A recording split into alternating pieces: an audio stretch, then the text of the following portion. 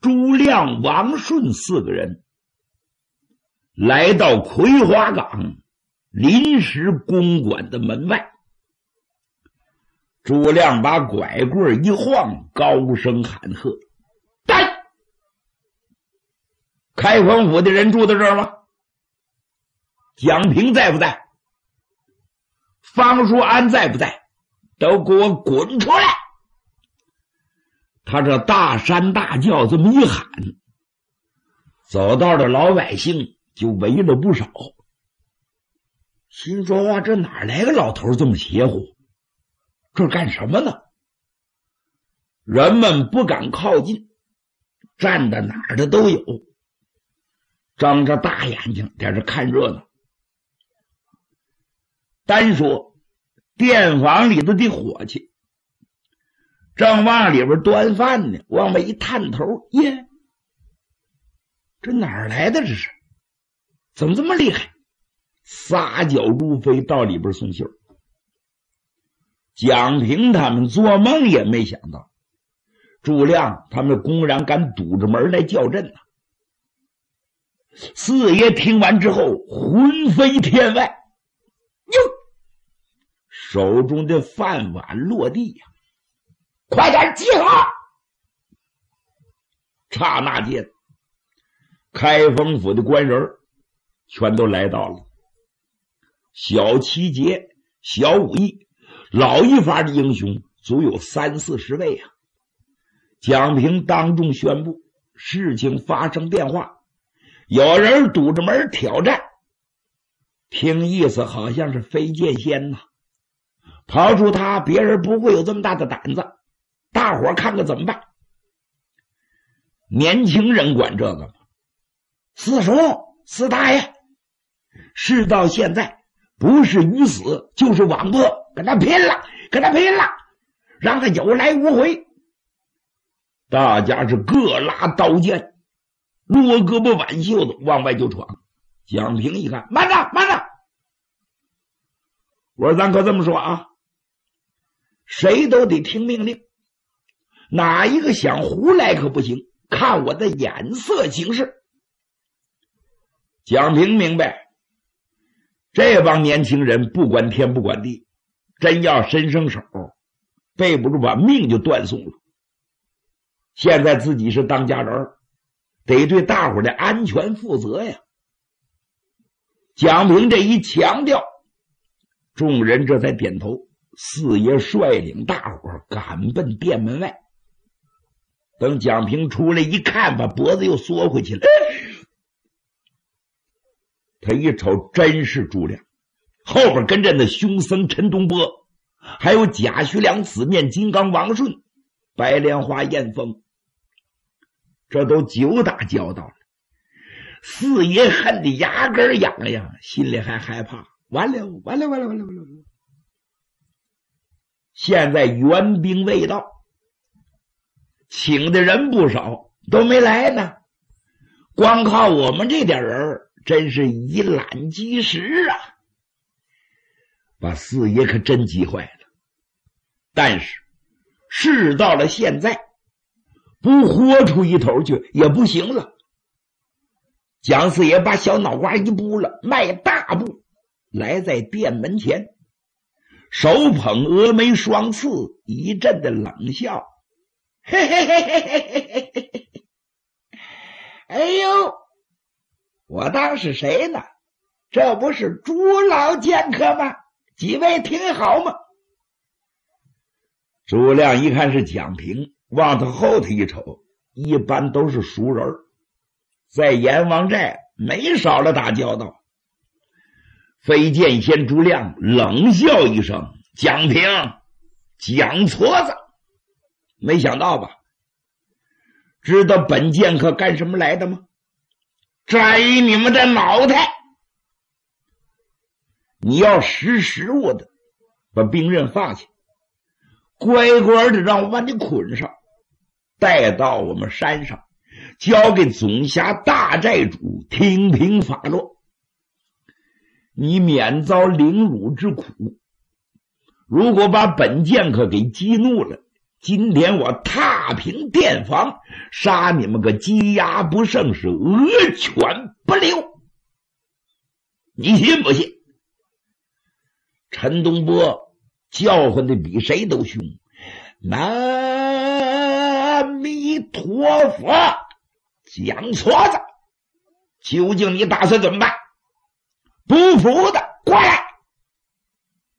他把金棋盘晃的是呼呼山响，小弟兄们就想往上冲，但是蒋平有话在先。他不让谁打，谁不敢过去。大家怒目横眉，在旁边拉着架子。单说蒋平，真有经验呐，什么场面没遇上过？四爷尽量控制住心情的紧张，脸上还假装乐着。我朱亮，我真服你了，真是贼胆子啊！胆大包天，天包着胆子。这是什么地方？这是开封府临时的公馆，你竟敢公然跑到这儿叫号来？好，够个英雄，有骨气。不过咱可得把话说清楚，你来的目的究竟想干什么？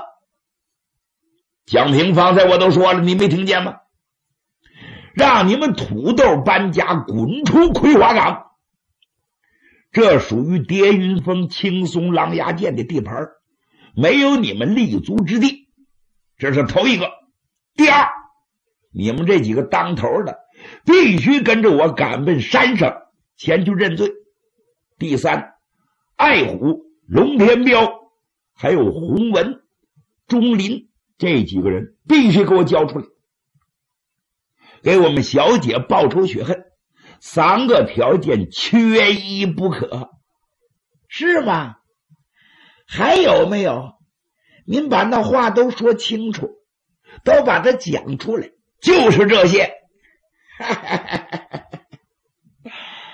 哎呀，朱老剑客，我看你没睡好，在这说梦话呢吧？我还有几个要求，讲。我这要求也不多，也是三个。第一，你们来的这几个小子，赶紧把兵刃放下，任凭我们发落。第二，我们要平山灭寨。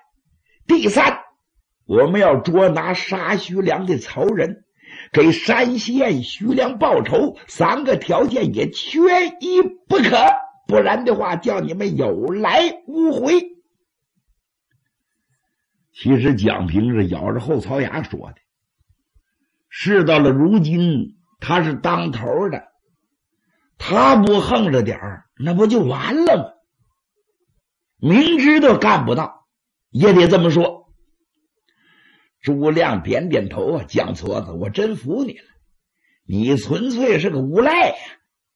魏松说此话不怕风大扇了舌头。好好好，咱别斗口。三个条件也罢，三百个条件也罢，是骡子是马，牵出来溜溜。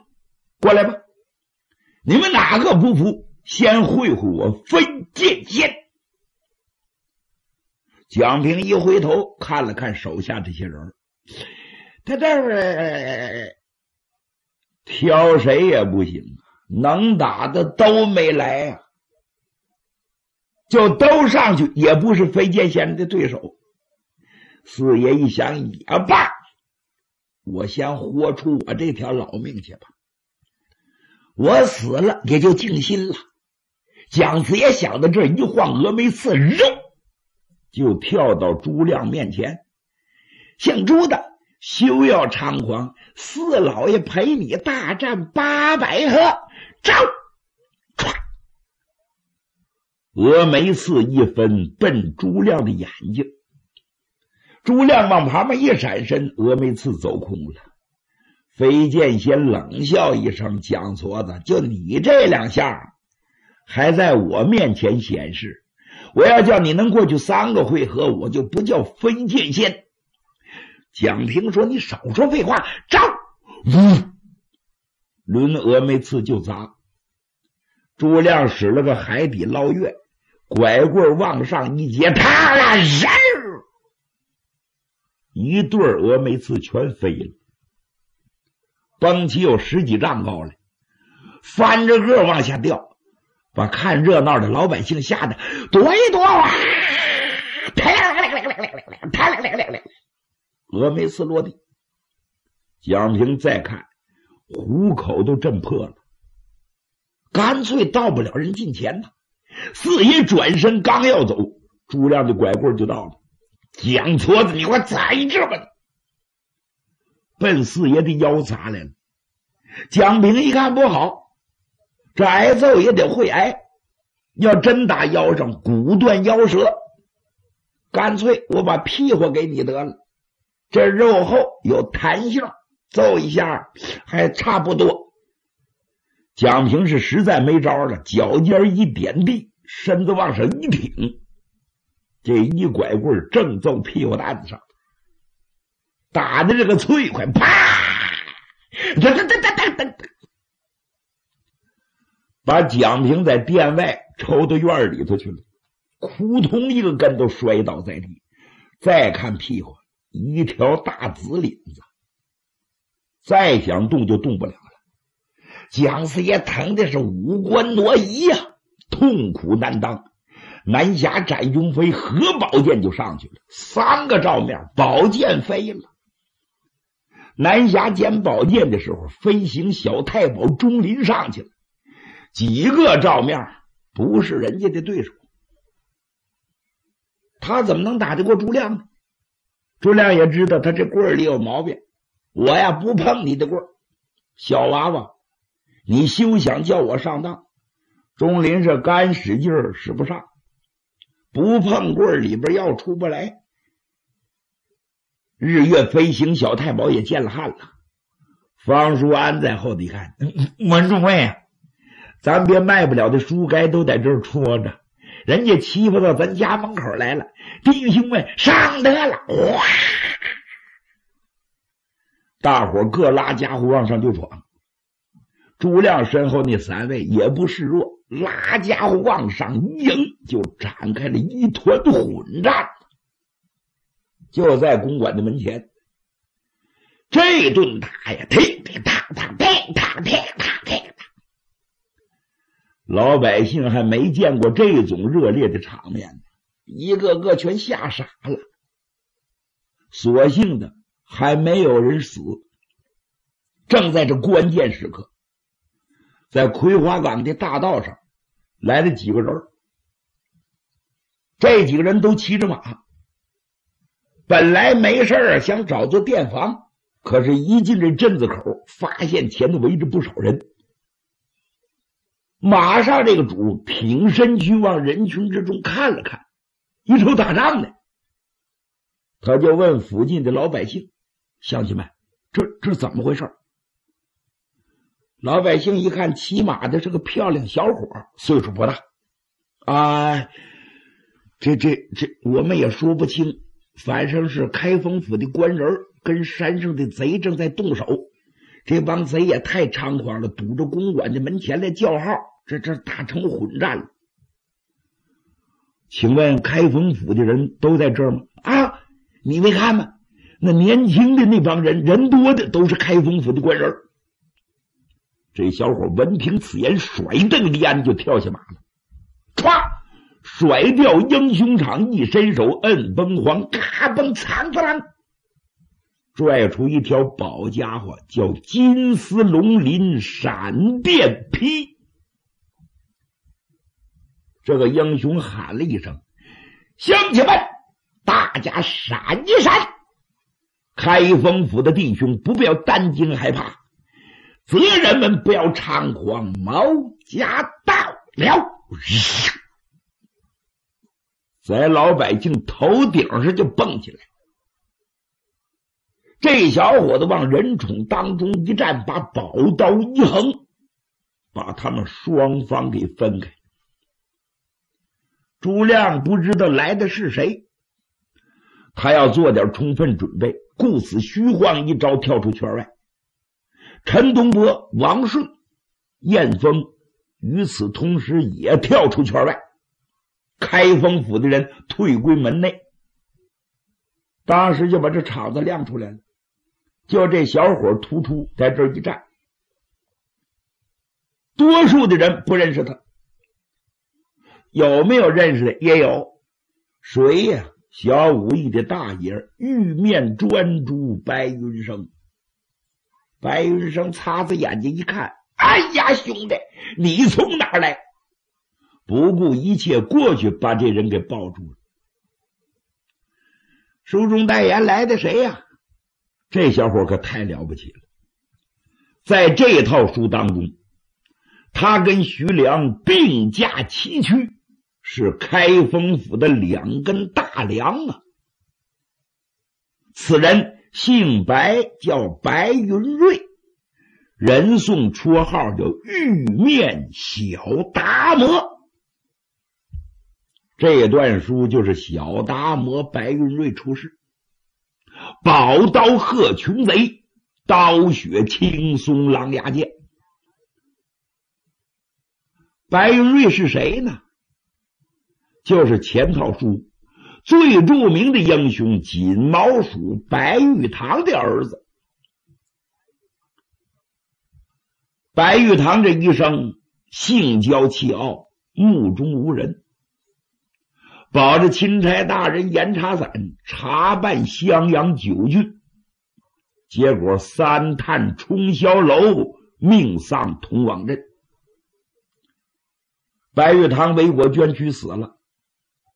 后来呢，把湖北平定了，钦差大人严查散奏凯还朝，在皇上面前动了一本，有功的都是谁？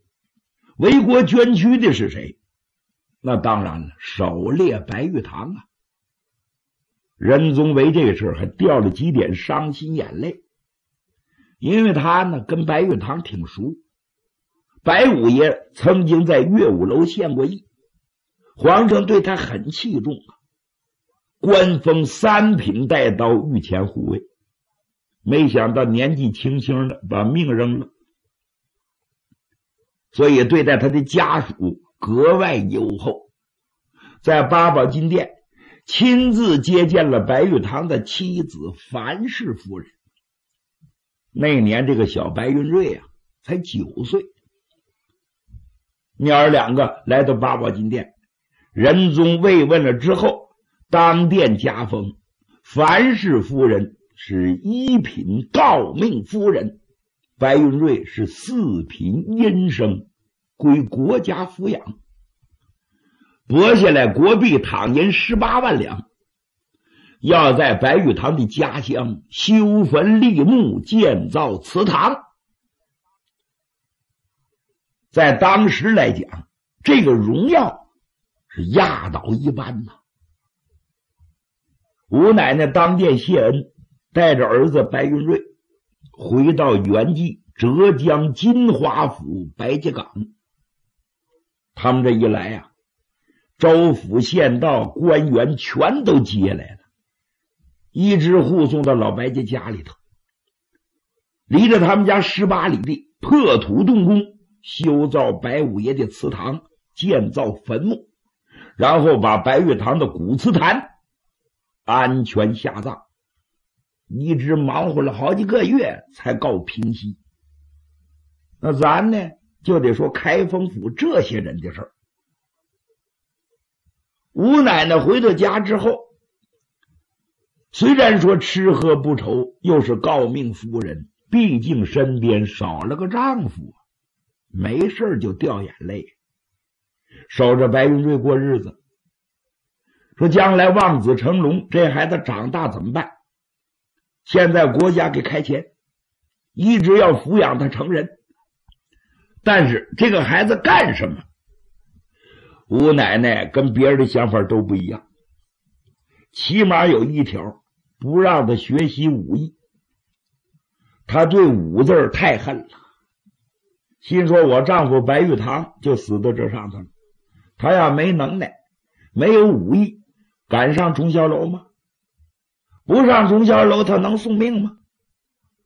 我千顷地一根苗，就这么一个宝贝疙瘩，说什么不能练武，让他弃武学文，好好念书，好好做文章。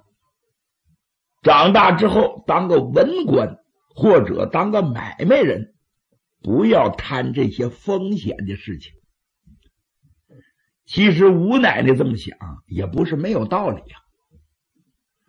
他就把老总管白福叫过来了。这白福跟这白玉堂多半辈儿，现在也有资格了，是白府的总管。吴奶奶告诉他：“从今以后，我把少爷交给你，好好督促他念书，绝不准他练武。如果要违反这一条，我绝不饶你。”白福领命，他就陪着白云瑞啊住到跨院。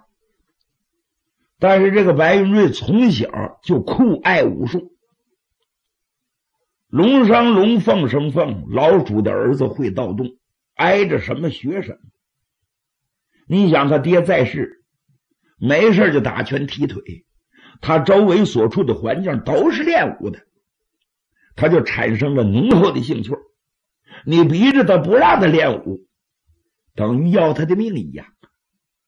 白云瑞一看文章就打盹儿，一听说练武就来精神。后来背着他娘不知道，就跟白福商议：“我大叔，你背着我娘，你教给我武术得了。你跟我爹大半辈子，我爹的能耐你都会，你你教给教给我有多好？”哎，不不不不不。白福说：“这可使不得，夫人有颜命我我要违背了，我犯法我就砸了。”夫人一听说练武，那那那简直就就冲了他的肺管子，这我可不敢。白瑞也来劲儿了，从小就有主意，把眼珠子一瞪：“我告诉你，白福啊，你既然不教我练武，往后我不吃饭。”嗯，他还拿了一把。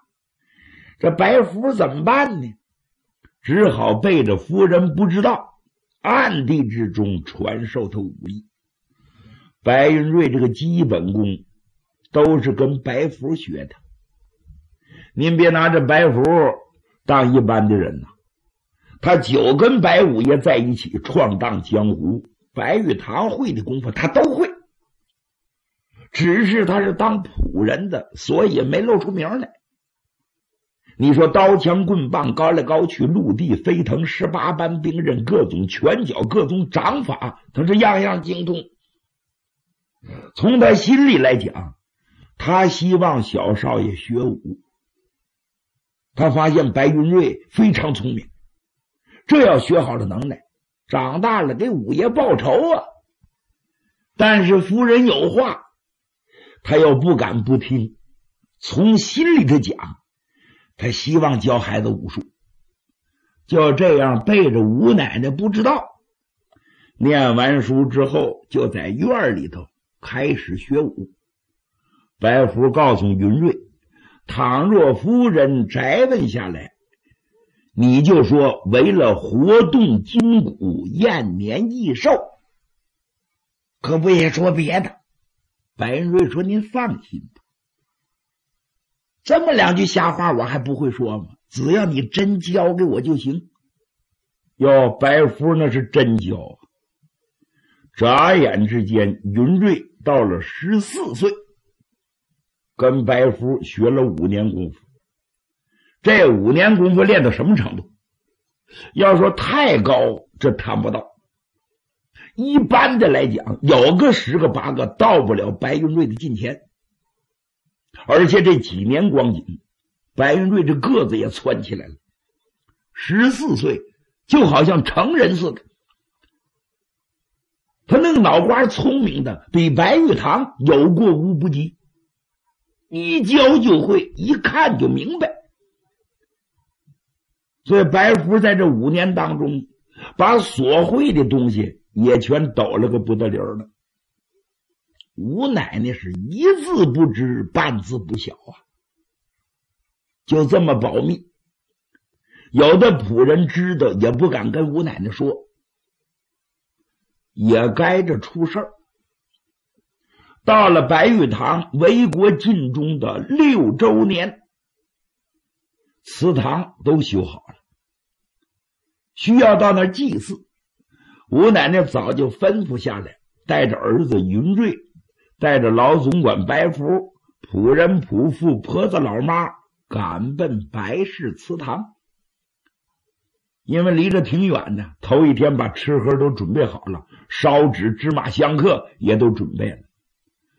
到了第二天，一家人起身够奔祠堂，十八里地到了白家岗，这个地方也叫白家坟。一看白五爷的祠堂修的相当讲究啊，另外前面就是坟，这大坟头都有一房多高，坟前立着白玉的石碑，碑上雕刻了大字。白宫玉堂之墓，坟地外边呢还有转圈的石头栏杆，栽种的各种花草，苍松翠柏。吴奶奶一见这祠堂，心如刀绞啊！下了车就开始哭啊，跪到供桌前边，一边烧纸一边掉眼泪，嘴里是念念有词。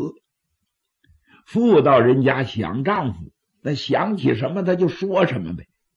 白云瑞跪在母亲身后也哭，哭罢多时了，那云瑞就劝娘啊，以身体为重，我爹已经死了，人死不能复生，您说您哭坏了身子怎么办？怎么劝也不好使唤。云瑞没有办法了，是因为这时间待的太长了，这小孩他觉着烦闷。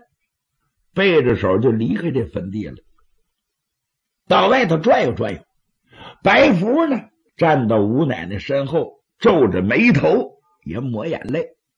丫鬟婆子都在两边伺候着。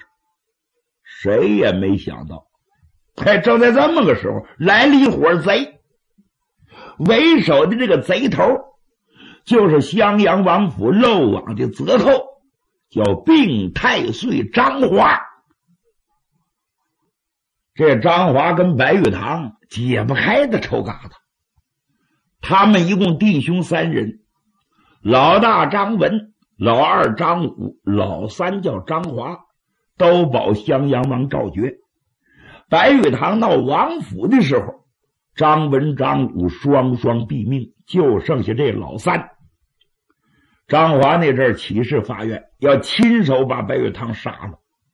没想到，没等杀呢，白玉堂死到冲霄楼了。他老这么想，要解心头恨，拔剑斩仇人。我不亲自动这手，这仇没报，他就怀恨在心。后来襄阳王府整个叫官人给打破了，张华领着一伙人占据草峰山，当了流寇了。但是这个仇，他始终没忘啊。后来他一打听，哎呦，白玉堂虽然死了，他还有后代根呢，叫白云瑞，是个小孩儿。另外他又一打听，白玉堂有个媳妇姓樊，哎呀，那是美人图啊。